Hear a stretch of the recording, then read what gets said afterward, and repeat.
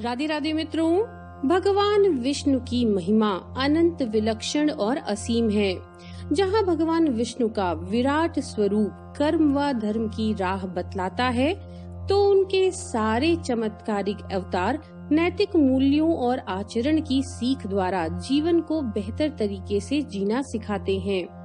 मित्रों शास्त्रों के अनुसार भगवान विष्णु की उपासना की विशेष तिथियाँ या दिनों पर भगवान विष्णु का किसी भी रूप में स्मरण मात्र ही मनोरथ सिद्ध करने वाला माना गया है।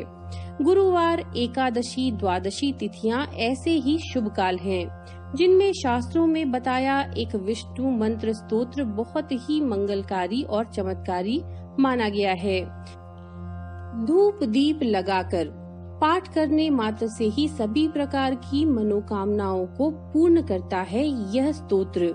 मित्रों, इसे कहा जाता है विष्णु पंजर स्तोत्र जो हम आज आपके लिए यहाँ पर लेकर आए हैं। पौराणिक मान्यता ऐसी है कि विष्णु पंजर स्तोत्र के प्रभाव से ही जगत जननी कात्यायनी ने भी रक्त बीज व महिषासुर जैसे राक्षसों का अंत किया है। तो चलिए शुरू करते हैं विष्णु पंजर स्तोत्र। प्रवक्ष्याम्यधुना ह्येतद्वैष्णवं पञ्जरं शुभम् नमो नमस्ते गोविन्दं चक्रं गृह्य सुदर्शनम् प्राच्यां रक्षस्व मां विष्णु त्वामहं शरणं गतः।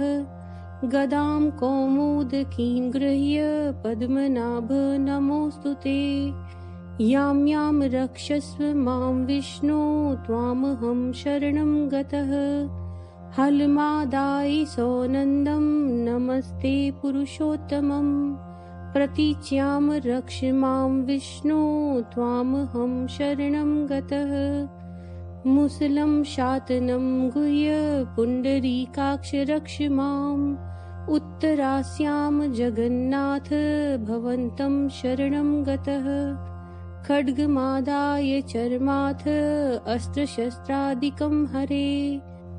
नमस्ते रक्ष रक्षोग्र ऐशान्यां शरणं गतः। पाञ्चजन्यं महाशङ्ख मनुघ्रोष्यं च पङ्कजम्। प्रगृह्य रक्ष मां विष्णो आग्रेयां यज्ञशूकर चन्द्रसूर्यसमाग्रह्य खड्गं चान्द्रमसं तथा नैत्सत्यां मां च रक्षस्व दिव्यमूर्तेन्द्रकेसरिन् वैजयन्ती सम्प्रगृह्य श्रीवत्सं कण्ठभूषणम् वायव्यां रक्ष मां देव हैग्रीव नमोऽस्तु ते वैनतेयं समरुह्य त्वन्तरिक्षे जनार्दन।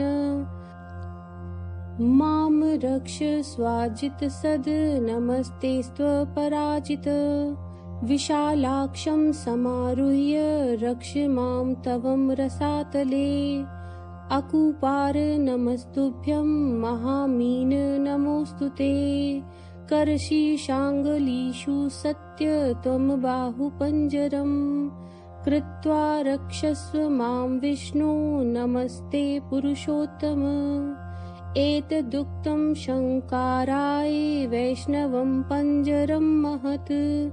पुरा रक्षार्थमीशान्यां कात्यायन्या वृषध्वज नाशयामास सायेन चामरं महिषासुरम् दानवं रक्तबीजं च अन्याश्च सुरकण्टकान् एतज्जपन्नरो भक्त्या शत्रून् विजयते सदा।